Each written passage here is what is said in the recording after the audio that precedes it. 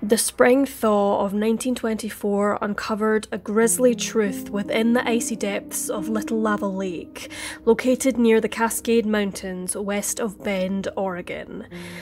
Beneath the surface lay the frozen bodies of three fur trappers who were reported missing several weeks prior from their woodland cabin. It is a captivating, cold blooded mystery which remains unsolved for almost a century, the motive unclear, and the killer never captured. As winter descended in 1923, three men local to the small city of Bend, Oregon, packed up their belongings to move to an isolated cabin in the woodland of Deschutes National Forest near Little Lava Lake, the trio wishing to spend the winter months fur trapping in the wilderness. There were Edward Nichols, known as Ed, who was 50 years old, Harry Leroy Roy Wilson, aged 35, and the youngest of the group was Edward Morris, nicknamed Dewey, who was 25 years old. Nichols was employed as a caretaker for the cabin and fur foxes, whereas Morris and Wilson, the latter of whom was a Marine Corps veteran, were loggers for the Brooks Scanlon Lumber Company. The pair found fur trapping to be more of a pastime in comparison to Nichols. In the autumn of 1923, they began living in the log cabin, which belonged to a local logging contractor called Edward Logan. Ed Nichols, Roy Wilson, and Dewey Morris came to an agreement with Logan that instead of paying rent for their lodgings, they promised to take care of Logan's six foxes, which resided in a pen behind the dwelling. In the week before Christmas, Nichols returned to Bend after a successful first stint at Little Lava Lake, with a sled packed full of furs to sell. Witnesses who spoke with Nichols recalled that he seemed thrilled with the trio's progress, having collected much more fur than they had originally anticipated. Once all of the furs were sold, Nichols returned to the cabin at Lava Lake. Some sources speculate that Nichols did not travel alone to Bend and that he was joined by his companion Roy Wilson, who allegedly spoke with his mother very briefly, explaining that he would be home in February. The festive season came and went, the people of Bend ringing in the new year with high hopes of a healthy and prosperous 12 months ahead. During January of 1924, a man called Alan Wilcoxon departed from his home in Fall River, his destination being his own resort located in Elk Lake. Having mapped out his 24 mile route, Wilcoxon began his journey, trudging through the rugged terrain by snowshoe. On the 15th of January, he stopped by the log cabin, where he greeted the three men. He spent the night in the trio's company, departing towards Elk Lake the next morning. According to Wilcoxon, Nichols, Wilson, and Morris appeared to be in high spirits and good health, with their hunting endeavours being greatly successful. Little did he know that he would be the last person to see the trio alive. As the months passed, the families of the trappers became concerned when they failed to receive any kind of correspondence from them. Searching the forest were Dewey's brother, Owen Morris, family friend Hervey Innes, and superintendent of the Tumalo fish hatchery, Pearl Linz. Whilst searching the forest, they stumbled upon an unusual scene. They found several activated traps. A number of mink traps had been left untouched, with the corpses decaying in the winter sun. Once the traps were discovered, a full search operation began, with friends and family forming a search party. In April, they made their way towards the cabin by snowshoe, where they were met with an eerie silence. Upon first inspection, the cabin was completely empty. Burned food lay in pots on the stove with moulding cooking utensils, and the fire had dwindled to a pile of ashes. Plates and cutlery had been neatly set on the table, however, sat unused. It appeared that their last meal had been breakfast. Several sources reported that heavy clothing, traps, and rifles lay abandoned within the confines of the cabin, and that newspapers and magazines had been carelessly left in a state of disarray, the skin racks and dryers also showing signs of neglect. An emaciated cat was found, and it seemed apparent that it had not been fed within the last two months.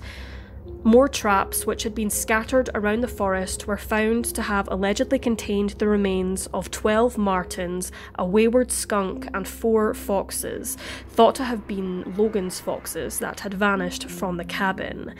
The foxes had either been shot or attacked by a blunt instrument and then expertly skinned.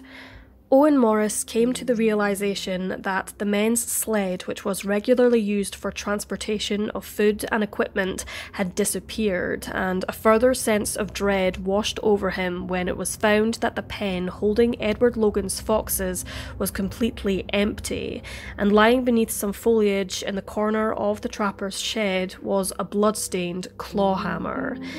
Deschutes County Sheriff Clarence Adams and the local game warden offered to help in the investigation, and after a thorough search of both the cabin and its surroundings, the sled was recovered approximately a quarter of a mile from Logan's log cabin in a snowdrift on the icy shore of Lava Lake. The investigation took another sinister turn when it was evident that there were several dark stains on the sled, later confirmed by Dr. George Vandervert as being human blood. There was a trail in the snow leading into the lake itself and a fairly large depression in the ice, but it appeared to have been frozen over.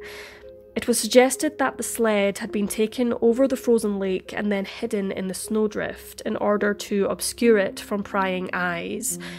One of the search volunteers who wished to collect water for the group made a grim discovery. Frozen pools of blood were found in the thawing snow, and among other evidence collected was clumps of hair and a human tooth. Sheriff Claude Macaulay wrote in the official police report his thoughts of the chilling crime scene. Even though the weather was perfect, the clear air was impregnated with the odour of death and decomposition, and it was with an undefinable spirit of awe and consternation that the little party of hardy outdoorsmen laid aside their packs, kicked off their snowshoes, and prepared to tackle a grim job which was little to their liking. Owen Morris and Clarence Adams later returned to the lake with the aim of catching some fish to feed fellow searchers. The duo were surprised when they realised that the lake had escaped from winter's unforgiving grasp, the thaw having melted much of the ice. The pair, alongside Edward Logan, took a boat out onto the lake in order to conduct further searches. A cap and hat were found floating on the surface of the lake, presumed to have belonged to the trappers. Owen, Clarence, and Edward's attention was caught as they witnessed dark shapes floating on the lake. On that early April evening in 1924, the bodies of Nichols, Wilson, and Morris were discovered. Wilson and Nichols, who was found to still have his glasses on, were floating face down, whereas Morris was floating on his back. The remains of the men were partially decomposed and, oddly, were wrapped in muslin. Owen, Clarence, and Edward tied rope around each of them and hauled the bodies back to shore. Inspecting each of the clothed bodies, it became clear that they had all been fiendishly butchered. With dusk quickly falling, the corpses were kept overnight in an ice shelf before further personnel arrived to carry out further investigations. The following day, Clarence Adams travelled to Bend seeking further assistance. After the arduous task of taking the bodies back to Bend, the coroner conducted post mortem examinations on Nichols, Morris, and Wilson. It was concluded that they all had perished in late December of 1923 or early January of 1924. Their deaths were caused by gunshot wounds and blunt force trauma. Nichols had a shattered jawbone and a wound to the head, both of which were caused by a bullet, likely from a revolver, and his watch reportedly ceased to tick at 9:10 a.m. Wilson had been shot in his right shoulder and had suffered a shot to the back of his right ear. Morris had a gunshot wound in his left arm and had suffered a skull fracture. All three men had been bludgeoned, presumably by the claw hammer found in the fox pen at the log cabin. Police began their effort to piece the puzzle together and agreed on the following timeline of events. The killer or killers took a path to and from Little Lava Lake, passing Schumacher Fur Company in Portland by the road leading to the town of Lowell and the McKenzie River Trail. At least two of the men were lured away from the cabin for reasons unknown and were subsequently murdered. The third was then killed within a close radius of the cabin for once again reasons unknown. Their bodies were then thrown onto the sled where their killer or killers dragged them for approximately half a mile across the frozen lake, digging a hole to then dispose of the bodies. The perpetrators then scarpered on foot back through the forest.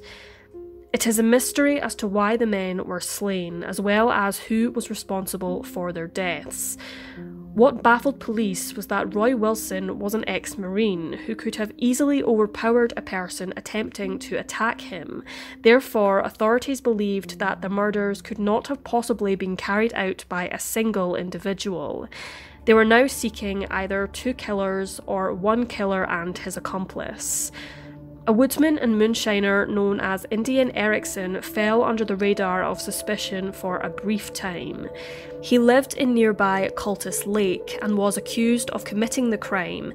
However, there was firstly no evidence to support the idea, and secondly, he had a solid alibi at the time of the Lava Lake murders. Edward Logan, the owner of the log cabin, suggested a name to police Lee Collins, also known as Charles Hyde Kimzey, a man from Idaho with whom he had squabbles with in the past. Logan had conversed with Ed Nichols, who had told him a story about Kimzey, an Elk Lake Lodge employee, who had previously been one of his fellow fur trappers. Nichols and Kimzey had a rather heated dispute regarding a wallet, in which Charles Kimzey expressed a desire to get even one day. Nichols was relieved when he was told that he would be sharing the cabin with Morris and Wilson in the winter of 1923, as he was left a bit on edge after his confrontation with Kimzey. It was known that Kimzey was highly skilled with a rifle and revolver, which would support the theory of him being involved in the deaths of the three trappers.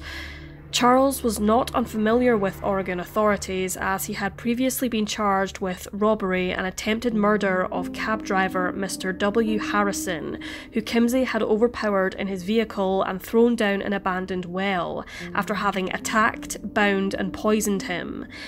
Harrison miraculously survived his ordeal, vomiting up the poison and escaping from the well. The case went to trial, however, Kimzey became a fugitive, with police offering a $1,500 reward for information leading to his capture. On the 22nd of January 1924, a mere seven days after the fur trappers were last seen alive, Kimzey was reportedly seen by a witness in Portland, Oregon. The witness was a traffic officer, and Kimzey allegedly questioned them about where he could sell expensive furs and was directed towards Schumacher Fur Company. Charles sold approximately $110 worth of furs to the company.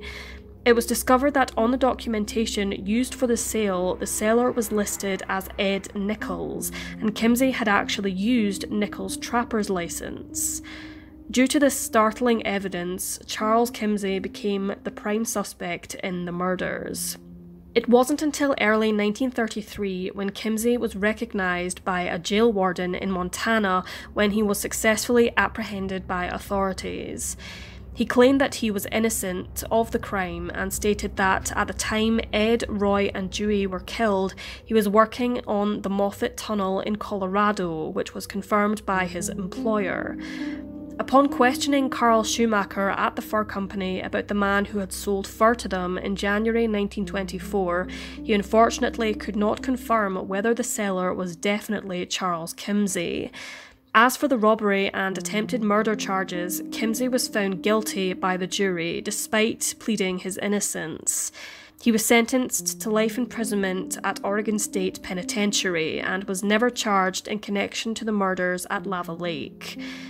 In 1957, he was released from jail on parole and returned to his native Idaho, where he lived the rest of his life without further incident. It was speculated that if Kimzey was responsible, his potential accomplice could have been Ray Van Buren Jackson, a schoolteacher who was allegedly involved in at least six other suspicious deaths in the 20th century, according to Melany Tupper, author of The Trapper Murders, a true Central Oregon mystery. He had already been convicted of forgery charges in the 1890s and was given the moniker of the Angel of Death. Kimzey and Jackson apparently shared family ties as well as being friends, therefore, does not rule out the possibility that he was somehow involved. Answers, however, will more than likely never be found as Jackson took his own life in 1938. Ed Nichols, Roy Wilson, and Dewey Morris were buried in Greenwood Cemetery in Bend, Oregon. The cabin in which they shared their final days no longer stands. However, the horrific crime continues to haunt those at Lava Lake and the people of Oregon. Despite the murders having occurred almost a century ago, hope has not dwindled that perhaps one day the truth can be uncovered. As of December 2019, the Lava Lake murder case remains unsolved.